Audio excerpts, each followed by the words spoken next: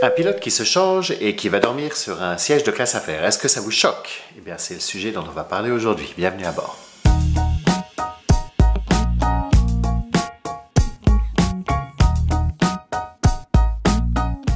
Bonjour à tous, mon nom est Victor, je suis chef de cabine et toutes les semaines j'ai partagé avec vous des conseils des astuces sur comment voyager dans les meilleures conditions, mais aussi à vous donner un petit peu des histoires qui se passent autour de la vie des agents de bord, des pilotes, de tous les gens qui travaillent dans le milieu aérien.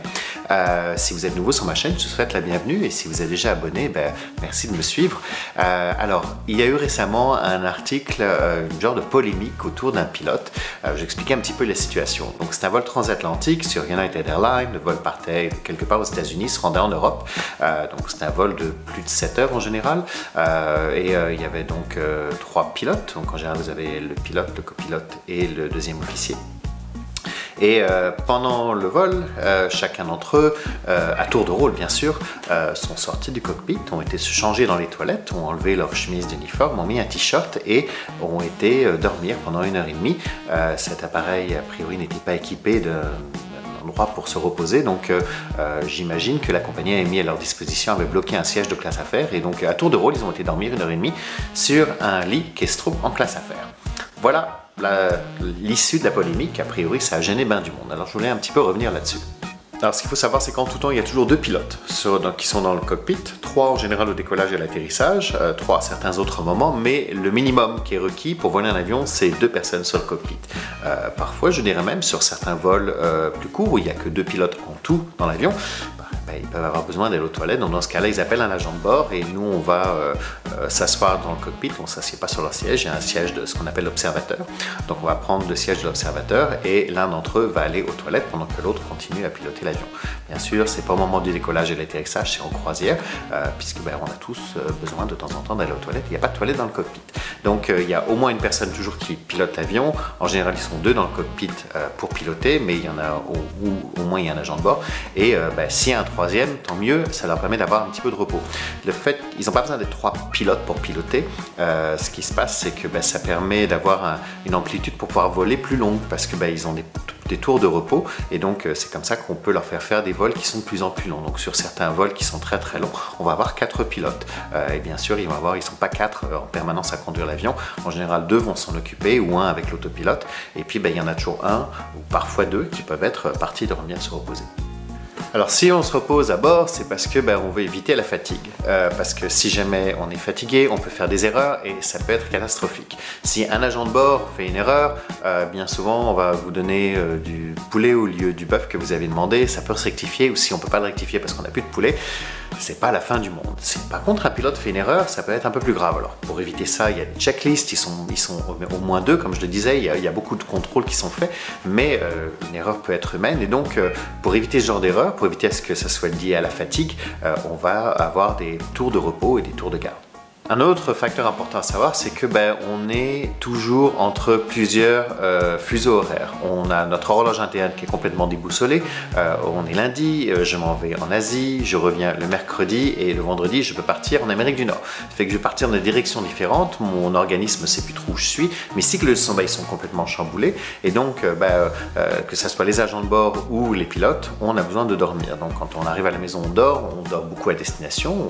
On, peut éventuellement faire un petit peu de tourisme si on a le temps, mais euh, le principal euh, but d'être à destination, c'est de se reposer pour faire le vol de retour. Euh, et donc, bah, si on a la possibilité de pouvoir se reposer à bord aussi, ça permet à ce qu'après ces 7 heures, 8 heures, parce que n'oubliez pas que si le vol dure 7 heures, en général pour nous c'est un bon 8h30 à 9 heures de travail, puisqu'on est arrivé à l'aéroport avant le départ, tout comme vous, et puis bah, on sera les derniers à partir de l'avion. Donc 9 heures sans aucun repos, ça devient long, donc c'est pourquoi on va avoir des, tours de repos pour, pour éviter justement le problème de fatigue. Puis comme je disais, il n'y a pas eu de, de problème de sécurité parce qu'en tout temps, il y avait deux pilotes dans le cockpit.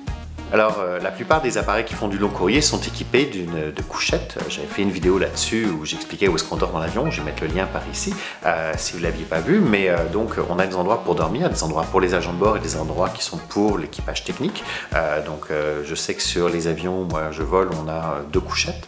donc, quand on a quatre pilotes, eh ben, ils peuvent aller deux par deux dormir. mais sur certains plus vieux avions qui peuvent faire des vols transatlantiques, et United est une grosse, grosse compagnie, donc renouveler la flotte pendant plusieurs années, plus, plus, plus de temps qu'une plus petite compagnie qui va avoir seulement une trentaine d'avions. et donc, ils ont peut-être des avions qui sont plus anciens, qui ne sont pas équipés de postes de repos. Et donc, ben, dans ce cas-là, une solution pourrait éventuellement d'être de, bloquer un siège de classe affaires pour que le pilote puisse aller se reposer. Alors, la personne qui, a commencé toute la polémique, qui est un passager, dit que c'est, ça se fait pas d'avoir un pilote qui va enlever son uniforme et qui va aller dormir en cabine.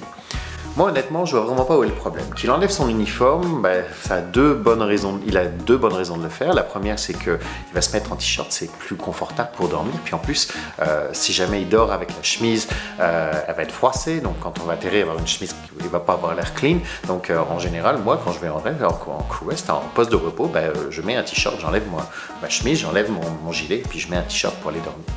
Euh, en plus de, faire ça, de se changer, c'est-à-dire qu'il est moins reconnaissable. Euh, si des passagers n'ont pas vu aller se changer dans les toilettes parce qu'ils ben, étaient en train de dormir eux-mêmes, qui se réveillent dans la nuit, qui voient quelqu'un dormir, ils vont pas savoir que c'est un pilote parce que c'est quelqu'un qui a une couverture et un t-shirt. Donc euh, il y a moins de risques que quelqu'un commence à paniquer. Et puis en plus, si jamais ils ont des questions, ils vont aller voir l'agent de bord qui lui est réveillé dans le galet, dans la cuisine et qui va pouvoir expliquer, ben oui, c'est un pilote qui se repose, on en a deux qui sont en train de piloter l'avion, vous n'avez pas à vous inquiéter. Alors il y a aussi des commentaires qui disaient que c'est comme si on voit un policier euh, qui, a garé son, auto et qui est en train de faire une sieste à l'intérieur. Non, c'est pas du tout la même chose. Si euh, je passe dans une ruelle et que je vois un policier qui a garé son chat qui est en train de faire une sieste, là je me demandais s'il est en train d'être officiellement travaillé ou s'il est officiellement en pause. J'ai aucun moyen de savoir. Là, je suis dans un avion, l'avion vole, je sais que j'ai deux personnes en avant, donc euh, je sais qu'on n'aura pas laissé le cockpit vide ou avec un seul pilote. Donc de toute manière, je sais qu'il est en repos, donc il n'y a aucun problème à avoir. Puis si jamais il y a une situation d'urgence où on a besoin de le rappeler, on va nous appeler tout de suite, on va dire euh, réveille-le, renvoie-le tout de suite sur le cockpit, on va aller le réveiller et puis il va retourner dans le cockpit, même s'il est avec son t-shirt, il va emmener sa chemise, il se changera là-bas. Euh, donc euh, c'est pas du tout un problème, je vois vraiment pas pourquoi est-ce qu'il y a une polémique qui a été créée autour de ça. Si ça vous choque, si vous, vous comprenez pourquoi il y a cette polémique qui a été créée, si ça vous inquiète de voir un pilote en train de dormir dans la cabine au lieu de dormir dans le plafond, dans le crew rest, ben, dites-le moi dans les commentaires, j'aimerais bien savoir. Et puis on va commencer la Sur ce, j'espère que vous avez aimé la vidéo. Vous pouvez mettre un pouce vers le haut. Euh, si euh, vous n'êtes pas encore abonné, vous pouvez appuyer sur le petit bouton qui se trouve ici ou sur ma face pour pouvoir vous abonner. J'ai mis d'autres vidéos ici si vous voulez passer plus de temps avec moi. Euh, et puis, ben, on se retrouve la semaine prochaine. Salut